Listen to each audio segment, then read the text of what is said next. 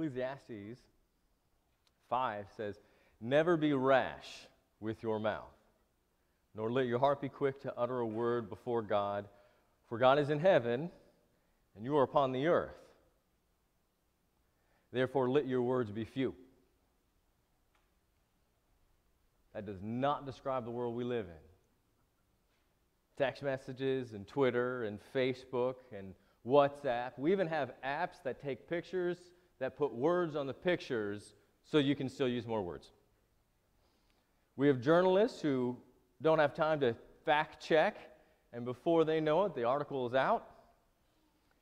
We have politicians who tell us all kinds of horrible things that we should be appalled at, drive them out with pitchforks and torches, but we just wait, and soon enough their words fade away, and we can't hear them above all the chatter that happens.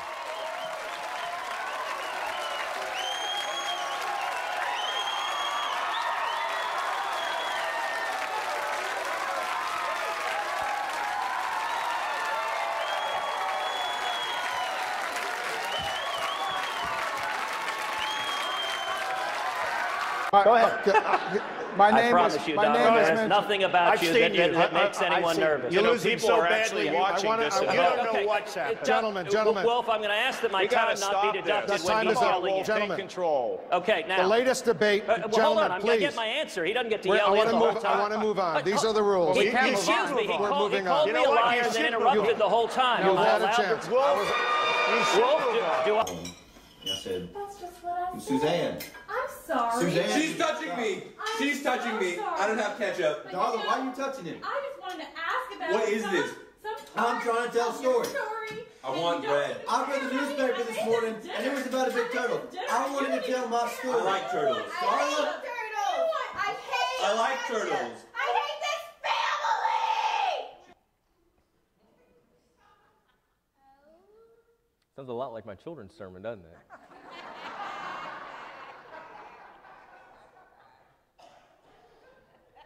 Today's the day that we celebrate, that we remember this, this fuller revelation that God has given us in Jesus. Before Jesus came, we understood that there was a God above all gods. We didn't understand how this God existed or who this God was. And so today we understand through the revelation of Jesus and the Holy Spirit this, this bigger, fuller understanding uh, that God is not only infinite, He's relational. Now, God said to us, He said, I wouldn't burden you. In our reading, it said, I can't, I'm not going to tell you. There's, there's something I'm not going to tell you. I'm not going to burden you with this information. And, and why he wouldn't or couldn't or shouldn't, we don't know. But what we do know is he's decided that instead of having knowledge, we are going to have a relationship. He understands that we are limited, that our understanding is limited, that we are limited beings, and maybe we can't handle the truth. Maybe we can't handle the fuller explanation. And if we look at how we handle the name of God today, OMG, we totally run it through the ground. So instead, we have a relationship, which is much better. We have this relationship where we can call God our Father, which seems like so commonplace, our Father who art in heaven. But when Jesus said that, that our Father, that's like a daddy. Here's what I want you to do I want you to go to work, and I want you to tell your boss, or your customers, or your clients, or your teachers, whoever that is, go to your boss and say, Hey, daddy. Call him daddy all day. Uh huh. Now, that might be awkward. None of y'all are going to do it. Why aren't you going to do it? It would be inappropriate? No, because you have a reasonable fear about how things should happen. And if you come up to your boss and you say, Hey, daddy, whatever follows isn't going to go well. so when we talk about God and we talk about fear of the Lord, why is it we get all bent out of shape? We have fear in a reasonable way, in a respectable way, in a way that we have relationships with people, human beings in our life. You know your boss, your client, your customer, your patient, your guest, your teacher. You know that person way better than you know your Lord. Think about an ant. An ant knows you. You're walking on this sidewalk and there's an ant, and the ant sees you. It moves to avoid you. It recognizes that you're a big thing in its life. that ant knows more about you than you know about God. Because as little as that ant can perceive and understand about you, you are finite, and God is infinite. Which means even that small understanding that that ant has of you is still more than we have of God. So you have a much better and more in depth understanding about the boss, the client, the patient, the customer, the teacher in your life than you do about God. And I'm going to ask you, and, and don't raise your hands or answer, but just think about this. Between your boss and your Lord, which one are you most likely to blow off? Now, which one's more powerful? Which one's more beneficial in the long run? In the short run? How does that make sense? I want to remind ourselves of what's going on today, right now. We are worshiping a God that is above all other things. So when we say God above all God, we mean that God is not just the God above other gods, we mean anything that would pretend to be a God. Life can sometimes pretend to be a God, by the way. In fact, that's the one that we tend to worship the most life. If you put a hierarchy of things that are important, probably on the top of that list is life. What should you not do? You should not take someone's life, or you should protect life at, at high costs. But really, God is above even that. God is almighty. That means that He has the power over life and death, that there is nothing more powerful than God. That God created heaven and earth. That doesn't mean He just literally created heaven, He literally created earth. He created everything. This is like bookends that we're talking about. That we come here to this place at this time to encounter God. In a way that we would never encounter God in another way. And for some God awful reason, and I mean that, God full of all reason, He loves us. We're not Jews. We weren't born into His family. We were made a part of His family through baptism. Why did He do that? I don't know. Because He loves us. That's part of the revelation of who God is.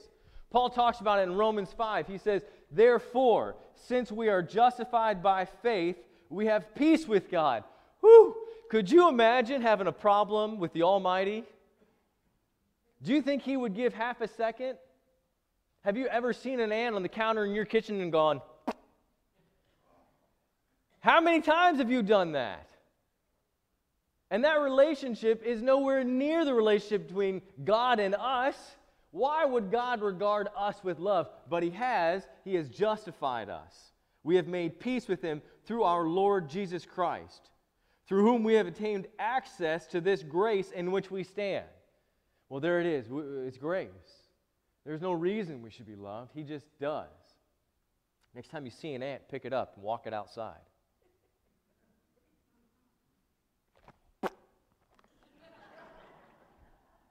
so that we may boast in our hope of sharing the glory of God. Did you catch that?